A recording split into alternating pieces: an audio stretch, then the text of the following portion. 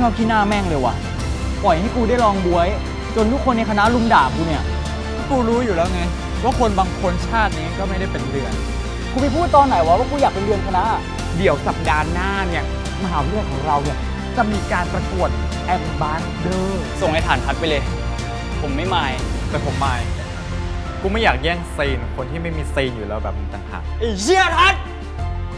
นี่พวกมึงยังสงสัยเรื่องไอ้ทัดกับม่านฟ้าเหมือนกูอยู่ใช่ปะ ลม มึงชอบเขาหรอ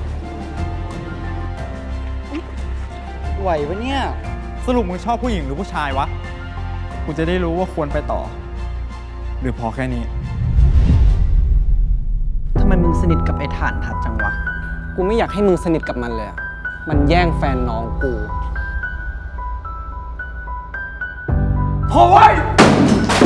เรื่องมาถึงขนาดนี้แล้ว ให้ตายกูก็ไม่บอกมึงหรอก พูดอย่างนี้อย่าเฮ้ยทัดกูว่าคนนี้ไม่ผ่านว่ะ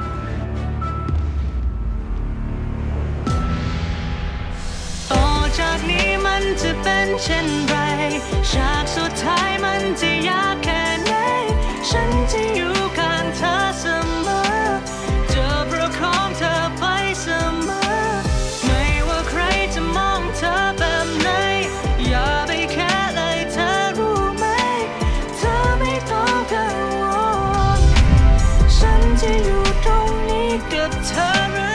เป็นลมหนาวจริงปะเนี่ย